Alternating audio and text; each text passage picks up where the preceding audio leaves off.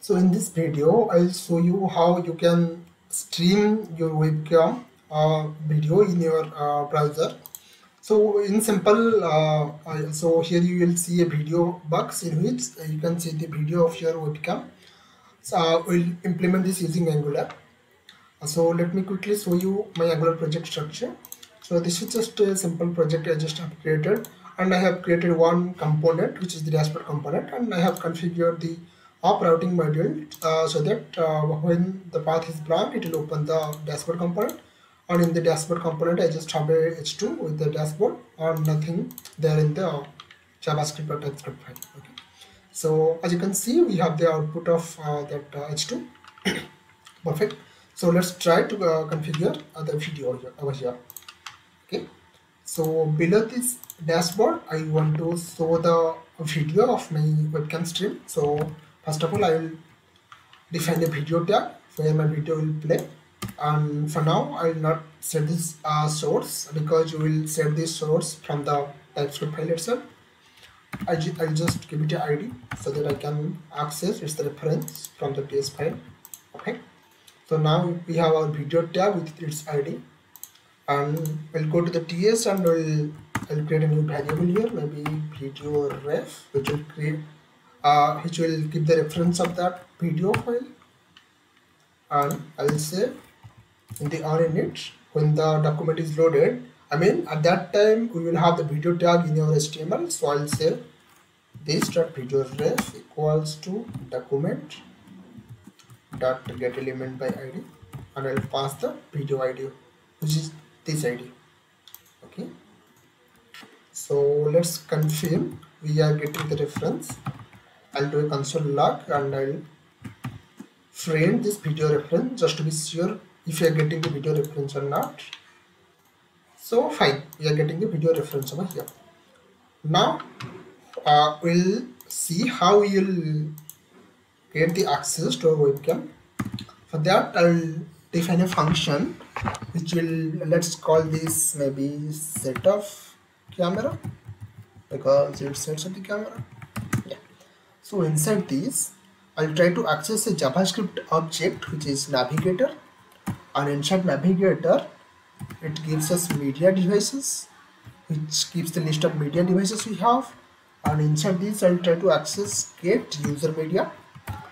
Uh, so uh, as you can see uh, in this get uh, user media we can pass some media constraints so let's try to define some media constraint which type of media we want. So I'll say I want a video uh, then we can pass it a object. So I can specify its width as maybe 300 and its uh, height as maybe 250 sorry 250 perfect. And then I'll say I don't want audio for now. Maybe audio is false.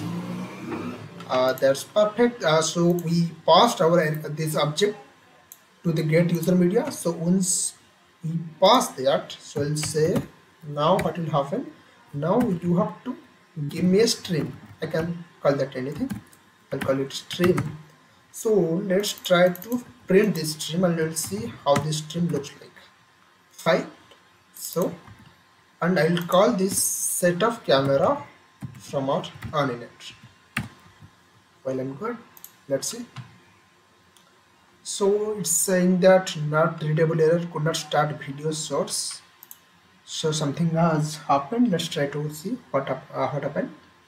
So in our setup camera get user media is called. Okay. And in the object we're saying video. Video height width and audio is false. Perfect. And then stream. And uh, yeah.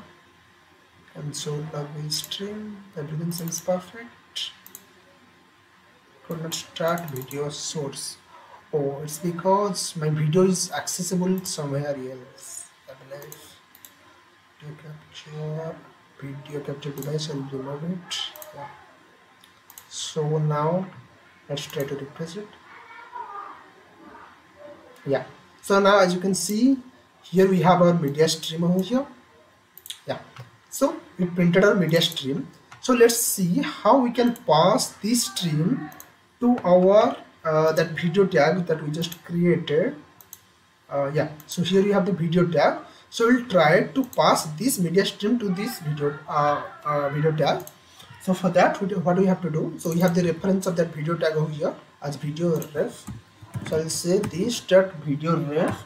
So i can set this source by src object. I'll say the src object equals to the stream. Perfect let's try to see this. So now what happened yeah so the video stream we access but for some reason it's not playing. So the perhaps the reason could be we haven't set the video autoplay. That's why it's not playing. Let's try to set that. I'll say autoplay.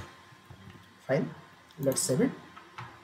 Yeah so as you can see the, our video is now playing so this is the live video from uh, from this source. So uh, that's it for this video. We, we just saw how we can play this video. But later uh, in this series what we'll do we'll try uh, to use the uh, TensorFlow API simple face detection so that we can show the like the uh, the, the rectangle. So for the faces so if you have like multiple faces over here you will see multiple rectangles over here and also you will uh, see how you can implement this using Angular. So that's it for this video. Thank you